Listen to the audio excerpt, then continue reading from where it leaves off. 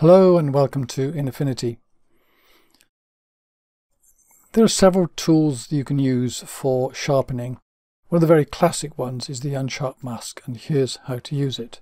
It's a very strange name. It originates in the way that sharpening effects were done with sheets of glass and all sorts of things in the good old days of chemistry and film development. But we go down here to this little group here in the middle is unsharp mask, which is a weird, weird name. Again, goes back to the history of it. But here's what we've got. We've got three controls here. How do we know which one to use? Well, let's zoom in a bit here so we can see this. This here could do the little bit of sharpening, though the eye is not too bad in there. That's where the focus was. And what I do is I will typically turn the factor right up. And then you don't see any effect. That's because the radius has not moved yet. It's still at zero.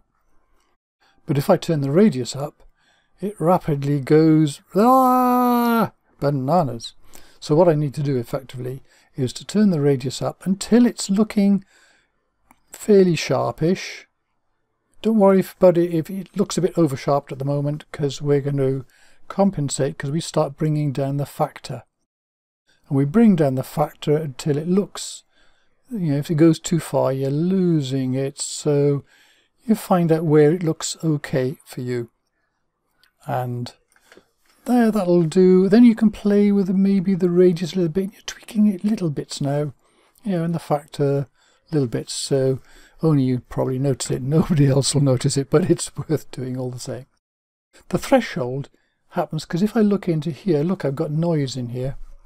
Yeah, and this has happened because I've sharpened the noise as well as the hairs.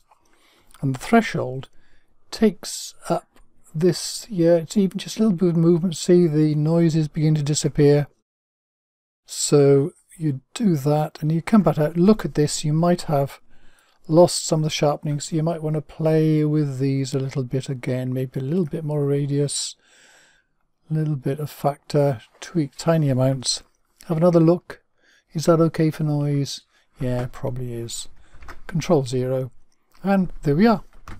And we can turn this here before and after. Before and after. Definitely a lot sharper there. That's it. That's it. Quite easy to do. Thank you very much for watching.